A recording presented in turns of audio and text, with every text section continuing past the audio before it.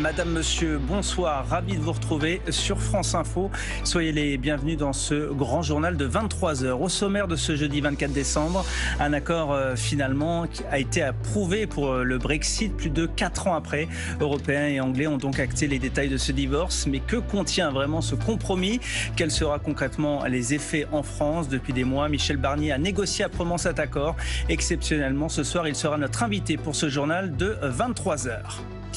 C'est un réveillon de Noël euh, pas vraiment comme les autres. En, cette année 2020, le Covid est passé par là, mesures sanitaires, tests PCR.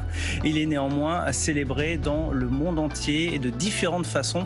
Nous serons d'ailleurs en duplex dans une église en banlieue parisienne, mais également à Bethléem, lieu biblique de la naissance du Christ. Et puis en ce Noël 2020 s'inscrit également dans une année avec une crise sociale sans précédent. La pauvreté s'est encore accentuée. Euh, notre invité ce soir, Henriette Stenberg, secrétaire générale du Secours populaire. On y reviendra dans ce journal.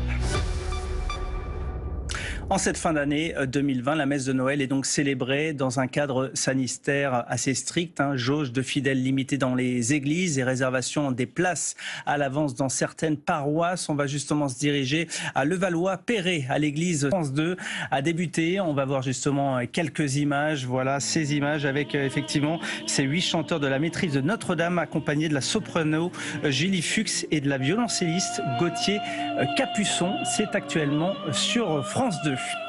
Voilà, c'est la fin de ce journal. Je vais vous quitter avec ce chapeau de lutin vert, en référence bien évidemment au secours euh, populaire. Merci de nous avoir suivis euh, sur France Info. Je m'associe à toute la rédaction, à Renaud Bernard, notre rédacteur en chef, mais également à toute l'équipe technique en régie actuellement, pour euh, vous souhaiter à tous un très joyeux Noël.